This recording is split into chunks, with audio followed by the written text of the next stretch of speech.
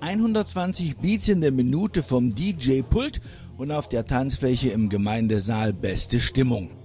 Da, wo sich sonst der Barlieber Gemeinderat streitet, tanzen jetzt junge Leute und sind froh über das Angebot der Barleben Beats, sich ohne weite Wege einmal nach Kräften zu amüsieren. Es ist jetzt kurz vor 22 Uhr und draußen vor der Tür herrscht reges Gedränge, denn pünktlich um 10 Uhr abends ist Altersklassenschichtwechsel entsprechend dem Jugendschutzgesetz und daran halten sich die Veranstalter ganz genau. Und das sind die Veranstalter Jugendliche aus der Gemeinde Barleben, unterstützt von den älteren Jahrgängen des Ecole-Gymnasiums und des Kurfürst Joachim Friedrich Gymnasiums Wolmirstedt.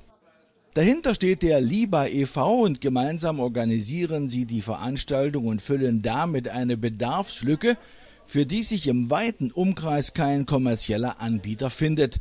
Und da gibt es jede Menge zu tun, denn wer Eintritt zahlt, erwartet auch eine gewisse Leistung.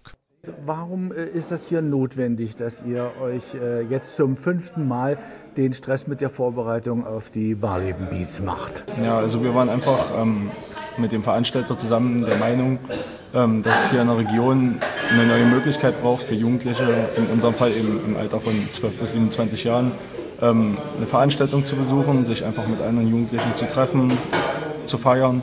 Und unserer Meinung nach gibt es eben in der Region, gerade hier auf dem Dorf, ähm, zu wenig Möglichkeiten für die Jugendlichen in der Region. Als einzigen Ansatzpunkt gibt es noch Magdeburg, aber das ist halt für jeden nicht möglich.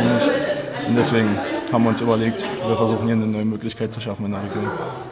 Über dem Ganzen schwebt das Jugendschutzgesetz und die Bestimmungen für den Ausschank von nicht immer alkoholfreien Getränken.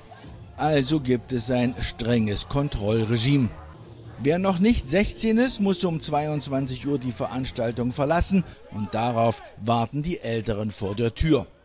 Ab da bis Mitternacht gibt es nur Bier und Sekt und erst nach 24 Uhr für die über 18-Jährigen auch das, worauf diese nicht wirklich verzichten wollen.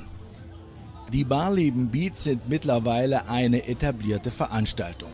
Die Erfahrungen, die man gemacht hat, sorgen auch dafür, dass so eine Veranstaltung kommerziell kein Zuschussbetrieb ist und der Andrang beweist, wie notwendig solche Initiativen sind und den Akteuren, die viele freiwillige Stunden in die Vorbereitung investiert haben, gebührt großer Dank.